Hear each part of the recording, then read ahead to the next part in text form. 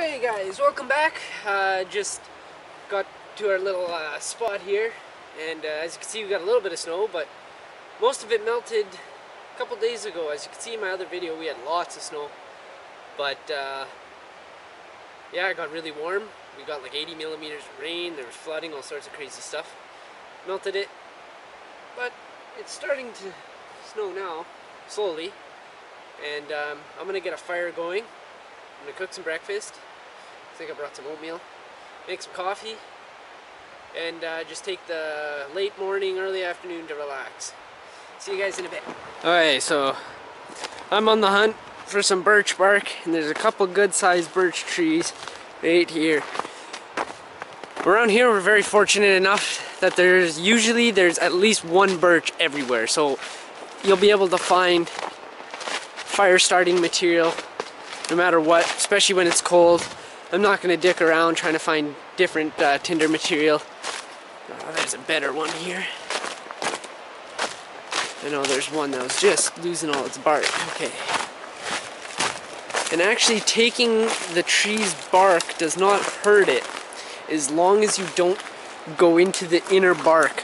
There's a hard woody inner bark. And as long as you don't go into that, the tree is safe. Take some of this.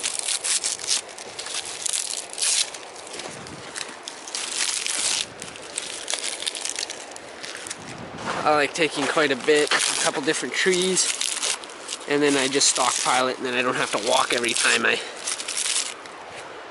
want to come get tinder.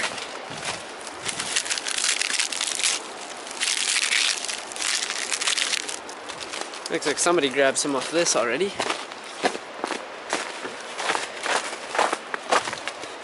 Well, I need both hands here guys, so I'll see you back at the camp. Okay, so I got my bark and I got some twigs. My hands are cold, so I'm not gonna screw around too much with a ferro rod. So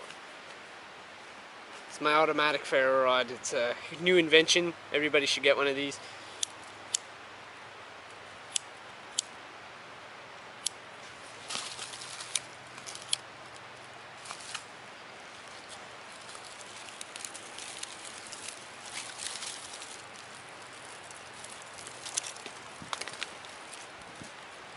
Don't want to add it too quick. I don't know how wet this is.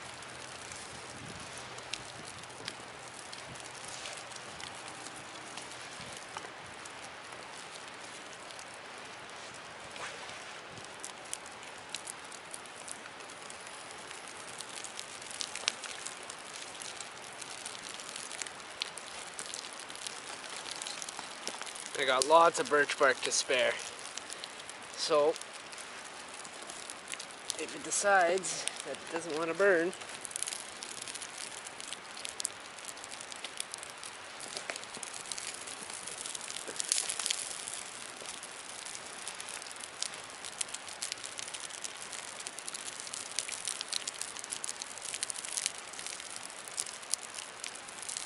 everything kind of has a layer of ice because it did rain and then freeze. So it kind of makes it a little tougher.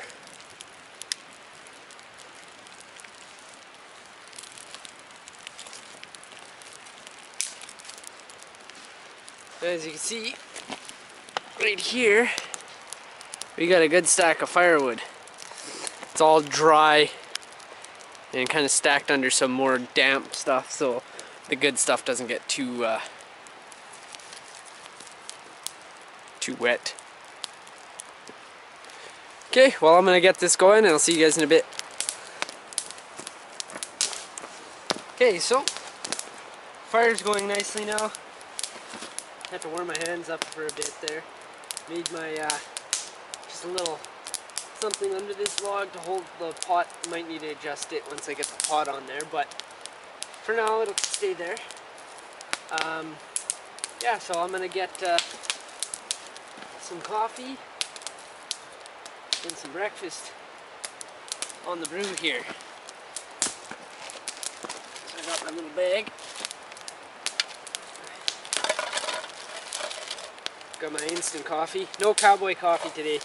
Wasn't feeling it.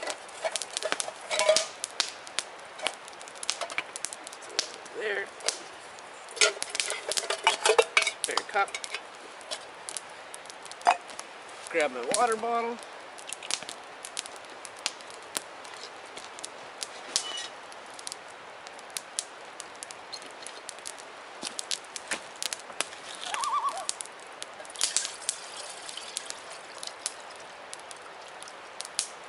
Okay.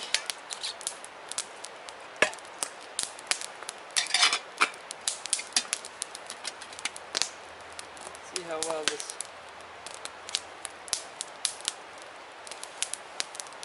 Ah, that's not too bad.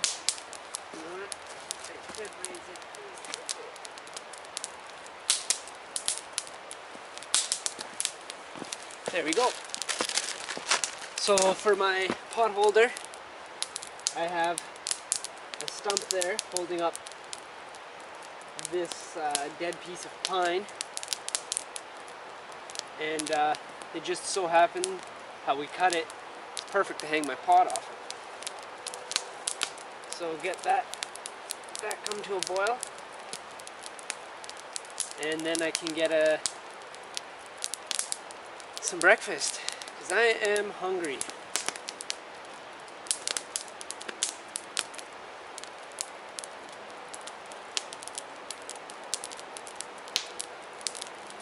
Last time I was out, I was visited by a, a weasel, other also known as an ermine. They turn white in the winter and uh, brown in the summer. They're pure white with a white little spot on their tail. And he was a curious little guy. His home is just behind the camera here. And uh, back in the 18th century and uh, beginning of the 19th century, their pelts were actually used for the queen's robes. That's why you see the traditional queen's robes, it's all white with the black specks. That's actually their tails that you see in the black. Um, it was actually also up here anyway, if you were part of the Northwest Company or the Hudson's Bay Company, you were, it would, they were actually illegal to, to trap unless you were appointed by the, the king or the queen or whatever, because their those pelts were primarily used for royalty. But nowadays, their pelts are used for high fashion stuff of that nature.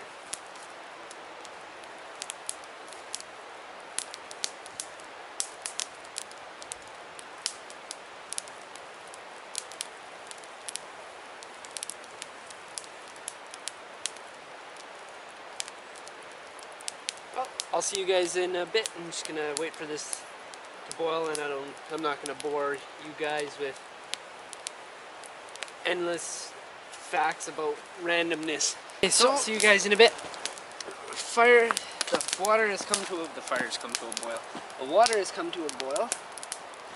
Take that baby off. There. I'm just gonna put this guy out of the way so I'm not banging my head on it. And I'm just gonna grab my uh, other cup, so I have my oatmeal and my coffee. Get some of the grossness out of there.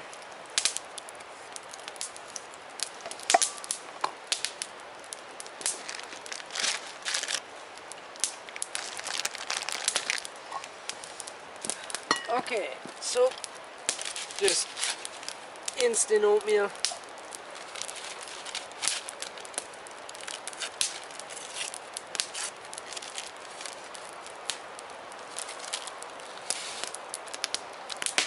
Put that baby in there. And a measuring cup. Because I do not like soggy oats.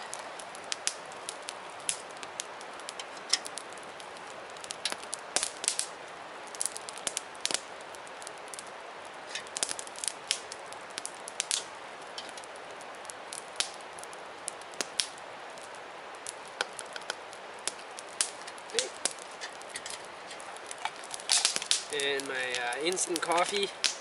Probably see me use this. A lot of people use these.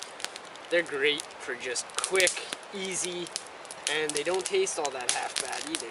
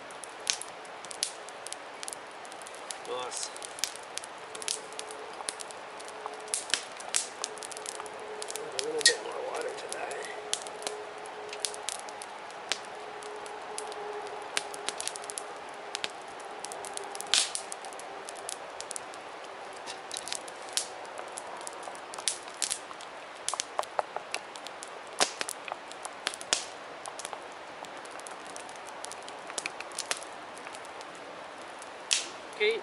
Let those do its thing. Enjoy some coffee.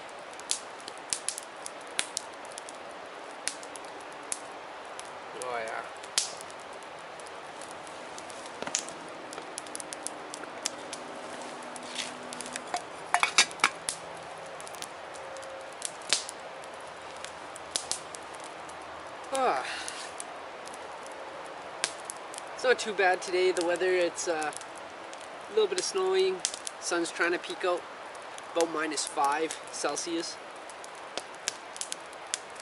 But uh, next week we're going to get nailed pretty good with the cold, we're going to get a highs of minus 18 degrees Celsius, I don't even know what that is in Fahrenheit.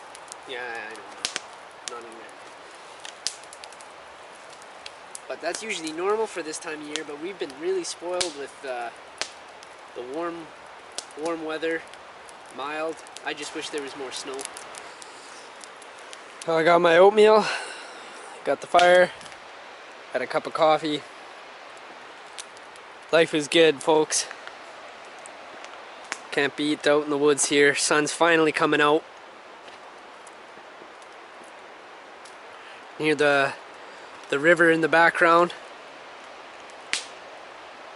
Just a gorgeous day to be outside. Oh, good old chair, A-frame chair. Well, that was uh, that oatmeal was really good on a cold day like this.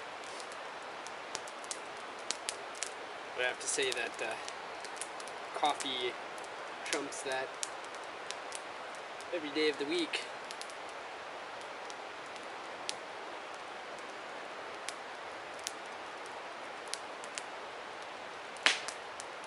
Yeah, this uh, forest that I'm in right now is actually part of a park system.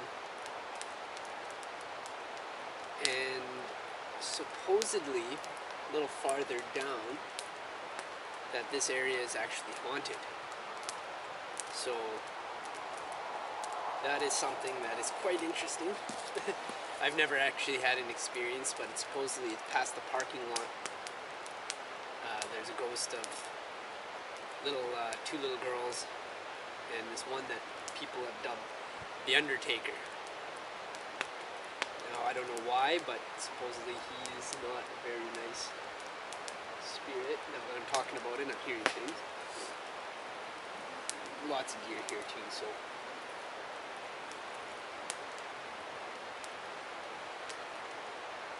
It'd be cool to see a deer. A friend of mine that was here said he seen a wolf just behind over here. But uh, the Undertaker, he's known to rip your steering wheel out of your hand as you're trying to leave the parking lot. That's happened to uh, somebody I know. Um, you know, the being followed, pushing, stuff like that. But I think we're far enough away from here, there because there is a swimming hole down in this river and people have died there in the past or have committed suicide. So let's knock on wood that nothing happens to me, and hopefully it does when I'm, it's on camera. Not for my benefit, but for your guys's.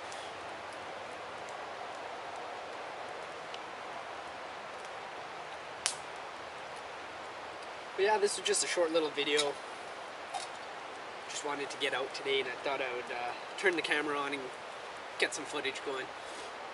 Uh, hope you guys enjoyed it. It was nothing too formal. I'm sure everybody knows how to make instant coffee and uh, instant oatmeal. But uh, that instant oatmeal is great to have. Uh, and that instant coffee is awesome. I love the cowboy coffee, but that instant stuff is just way quicker. Boom, you got your coffee. Everything's there, your cream, your sugar. But I hope you guys enjoyed the video. If uh, you like what you see, please uh, like the video and subscribe, share it, that'd be great. And uh, see you next time. Thanks, guys.